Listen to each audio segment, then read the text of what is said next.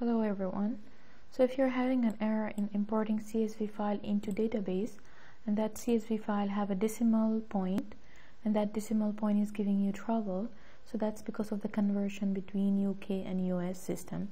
So what we easily can do is just to convert the decimal point into another type of decimal point.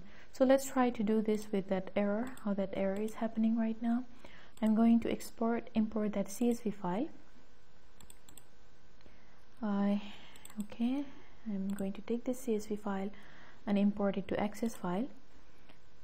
And as you can see I have here this column which is called kilometer per hour which is in decimal point. And the point here mentioned in the comma not in point or dot. So when I click on next and when I try to import that file even if I try to click on advanced in the beginning it is going to show me that the kilometer per hour as an integer. Let's say for example I'm going to make it into double in case to avoid that type of problem. Then I'm going to click on finish.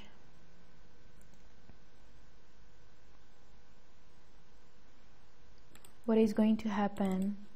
That the kilometer per hour is going to appear as an integer number not anymore as a um, decimal point even if I try it again let's try again one more time.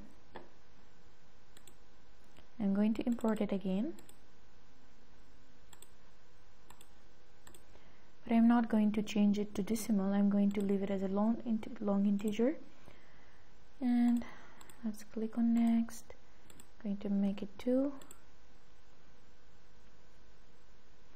and click on finish I'm going to get an import error message that telling me that the kilometer per hour there is a failure in the conversion. And when you open it you will find here that it, they're all empty. So both tables are wrong because the data here or the information is supposed to be with decimal point. So to avoid this type of problem what we have to do we have to go to control panel. We have to go to clock on region and click on region and from the region whatever is your format whether United States or UK you need to go to additional settings. And the decimal symbol here you need to convert it into that comma symbol. And click on OK. Click on OK over here. And let's go right now and import again that file for the third time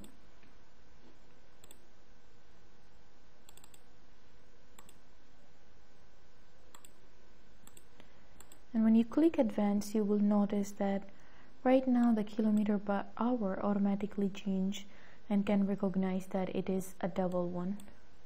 As they can recognize this comma as a decimal or a double data type. So I'm going to click just OK and click on um, OK before I go to let me change the name to 3 and let's check it out